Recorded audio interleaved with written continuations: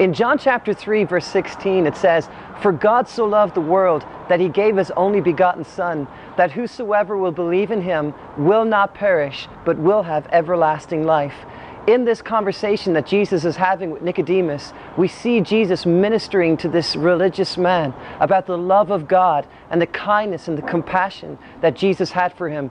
Just previous to that verse, we see Jesus talking to Nicodemus about how he must be born again and what it means to be born again, and what it means to be born of the Spirit of God, and how when you're born of the Spirit of God, there will be rivers of living water that will come up from your gut out of your mouth, and you'll have life and you'll have hope. Well, today I want to talk about the love of God, my friends. You see, in Genesis chapter 1, when Adam and Eve were walking in the cool of the day with God, we see God wanting to have a relationship with mankind. God said to Adam and Eve, Hey, I want you to name the animals. I want you to walk with me in the cool of the day. I want you to know me. I want you to know my heart. I want to hear from you too. I want to hear what you would name animals. I want you to take care of the garden that He had created.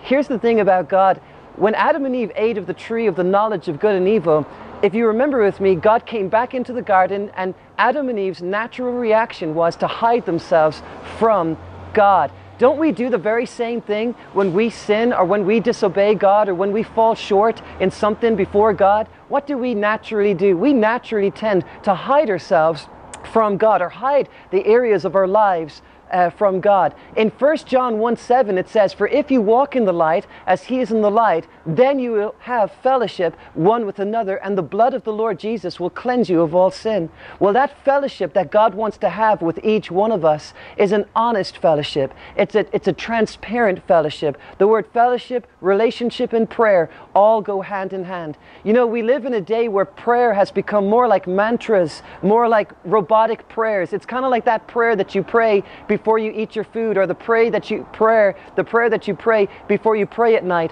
God is more interested in relationship than he is in robotic prayers. God loves us so very much that Christ went to the cross to reconcile us back into that same relationship that was broken when Adam and Eve ate of the tree of the knowledge of good and evil.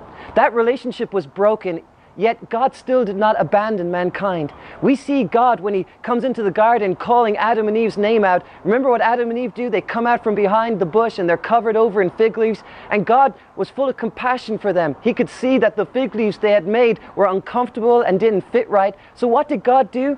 Well, we see God taking an animal, and for the first time, we see death enter into the garden. God took an animal and He skinned the animal and He clothed Adam and Eve. Even in Adam and Eve's disobedience, even in them feeling forsaken by God, God was still caring for them. God was still loving on them. God still wanted to put his arms of love and embrace them and call them his, his, his own. Even though there was consequences and ramifications, and we still feel that to this very day, we see God throughout all of history reaching out into mankind and saying, Hey, I want to have a relationship with you. I want to know you. We see that all the way through, even when Adam and Eve had kids with Cain and Abel, and how God wanted to have a relationship with even Cain, telling Cain, Hey, where's your brother? And then he said, Well, I'm. I'm, I'm not my brother's keeper, but we still see even God in that, wanting to have a relationship with us. Even though Cain had lied to God, God still, even though he knew the truth, still pursued man through relationship.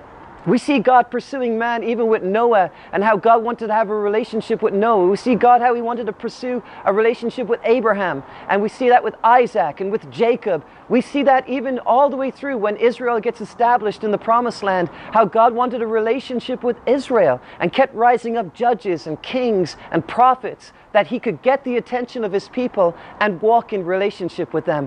When, when Christ was born through the Virgin Mary and lived a sinless life, and, and, and loved on people, we see here now the embodiment of God trying to reach out to mankind again to say, I want to have this relationship with you. I want to walk with you just like I walked with Adam and Eve in the garden. Jesus walked with disciples and walked with mankind here on this planet. Isn't that amazing that God was with us? born amongst us, lived amongst us, loved on all of us, and yet walked with us so intimately, so powerfully, what I want you to notice about everybody that came to Jesus, nobody walked away from him worse off. They all walked with him in relationship with him and walked away better. God wants to have a relationship with us. God cares about us. God wants to walk one on one with us. And when we walk with Him, things do get better. That's why Jesus said to Nicodemus, That's why you must be born again.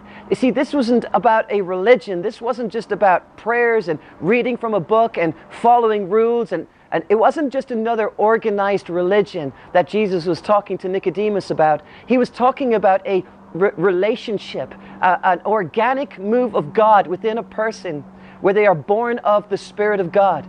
Friends, as an evangelist, it's not our goal to go out there and argue people into salvation or argue people into believing like Christians believe. If we can argue somebody into the faith, then that same person can be argued out of the faith. Friends, we're not here to argue people or persuade people.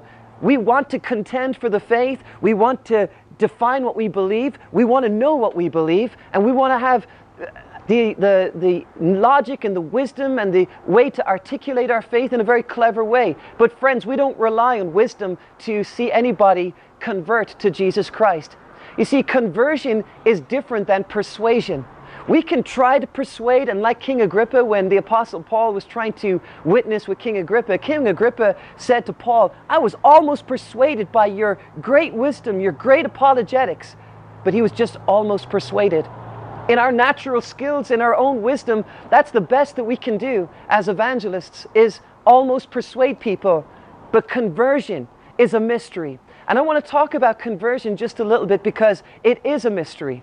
We can have the most amazing gifts to communicate, the most amazing gifts to preach, the most amazing skill sets to, to defend the faith, yet we fall short in trying to convert anyone to Jesus Christ. How does conversion take place? Well, what is conversion? Well, conversion is a, is a lifestyle change. It, it's, a, it's a change in direction. It, it's literally, I was going this way in this religion and then met Jesus, and now I'm going Jesus' way in, in his direction. It's more than just goosebumps. It's more than just a natural reaction of, of emotionalism where we raise up a hand. No, this is conversion. This is where God comes and lives on the inside of us and redirects us. We get a new direction when we come to Christ. God redirects our mindset, He, re- he redirects our future, He redirects our perspective, He even redirects our destiny. That's the most amazing thing about the gospel of Jesus Christ. You know what? Jesus said, For God so loved the world that He gave his only begotten Son, that whosoever will believe in him will not perish, but will have everlasting life. It is a promise for anyone that believes on Jesus to have assurance of eternal life, to have assurance of everlasting life. It is our assurance. We can be assured, we can be confident, we can be bold, we can have authority when it comes to our salvation in Jesus Christ. We can say to all of our doubts and to all the lies of the enemy and the accuser of the brethren that we have assurance of everlasting life. Why? Not because we deserve it, not because we are good enough for it. We know back in the Garden of Eden that just like Adam and Eve fell short of God's simple rule to not eat of the tree of the knowledge of good and evil, that we all have eaten of that same tree, if we were to be honest with ourselves. Think about it when we were kids, when our parents would tell us, hey, do this, and we do the opposite. Hey, eat this type of food, it's the healthiest, but we want dessert and we want fast food. We are bent on unhealth. We are bent on sin. We are prone to wander. We're prone to fail. It is our natural nature to do so. That's why, my friends, we need to be born again. That's why when we come to Christ, all things pass away, and behold, all things become new. The, the old nature that's within us gets suppressed by this new nature of heaven that comes and lives on the inside of us. While we're in these physical bodies, we won't be perfect. While we're in these physical bodies, we will fall short, we will fail, we will stumble. Remember with me